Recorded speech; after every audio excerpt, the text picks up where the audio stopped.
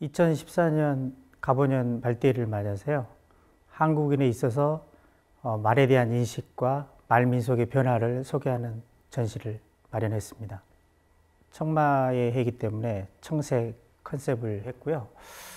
전시 기획의 구성이 야생마를 인류가 길들이고 타게 되는데 어, 그냥 타기만 한 게 아니고 거기에 이제 사람의 신분이랄지 그리고 권위를 상징하기도 하고 실용, 그 열두 띠의 방향과 그다음에 시간 이런 흐름 속에 있는 말. 세 번째로는 이제 야생마를 길들여서 사람이 타고 상상의 나래를 펴서 영혼과 신을 태우는 그 시간적인 순차로 전시를 구성을 했고요.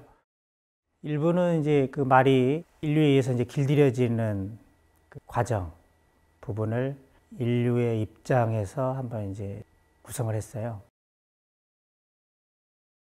그래서 이제 말의 특징을 잘 아는 전통 시대에는 마이라고 해서 이제 수의사가 있을 수 있고요.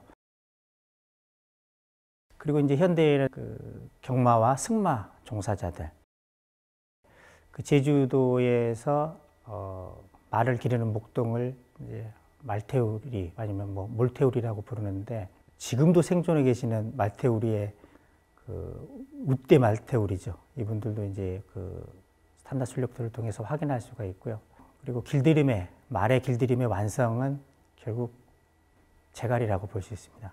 그래서 일부 끄트머리에 이제 말 제갈을 등장시키는 이유도 이제 말 길들임의 완성. 이제부터는 사람이 타는 말 이렇게 되는 거고요. 자연스레 이제 이분은 이제 사람이 타는 말인데 말에 뭐 회화랄지 여러 그 유물을 통해서 기원, 염원을 담기도 하고 또는 이제 그 말이 갖고 있는 그 권위, 신분, 벼슬 이런 부분들도 나타내기도 하고요. 어, 부여, 노신제의 그 진마가 있습니다. 이거는 우리나라에서 유일한 진마예요.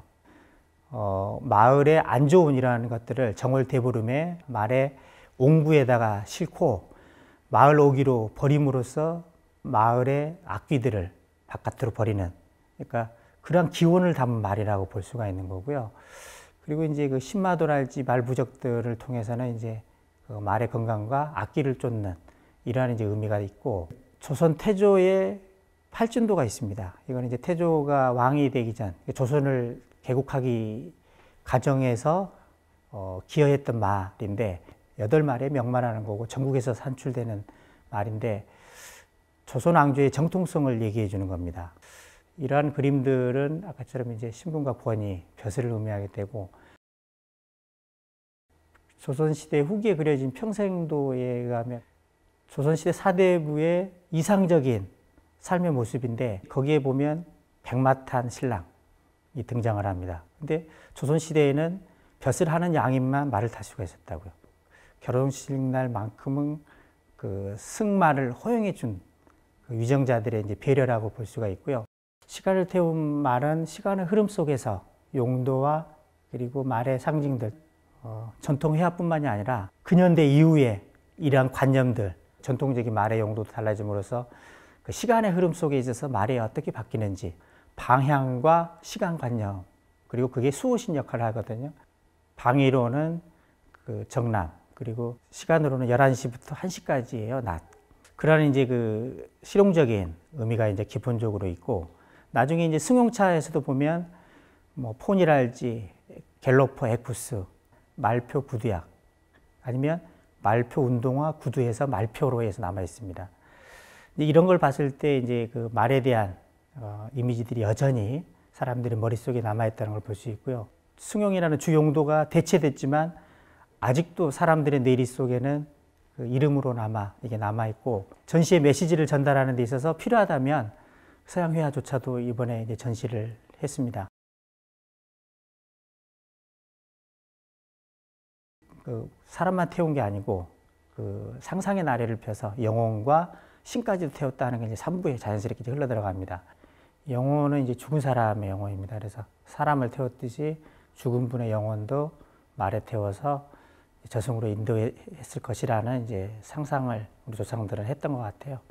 무덤 안에 넣어졌던 각종 다양한 말, 무덤에 이르기까지의 장례, 특히 이제 뭐 그 상해 장식되는 꼭두말, 고종과 순종의 국장 때 등장했던 어, 죽산마와 주간마의 어, 사진들, 그리고 그 불교와 관련해서 모란 괴속도처럼 상장례, 무덤 밖, 무덤 안에 부장되고 설치됐던 이라는 이제 말을 볼 수가 있습니다.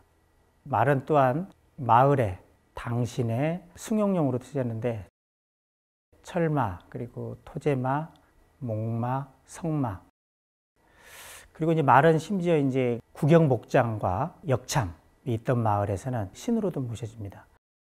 그 구경목장과 말 관리, 왕의 수레를 관장했던 마장원이라고 하는 기관이 어, 한양에 있어서의 말 목장을 관리했고 그 부대에서는 또 마조단이라고 단을 둬서 어, 말과 임금의 수레를 관장하는 방성 제사를 지냈습니다. 이처럼 신으로도 이제 모셔지기도 했던 것입니다.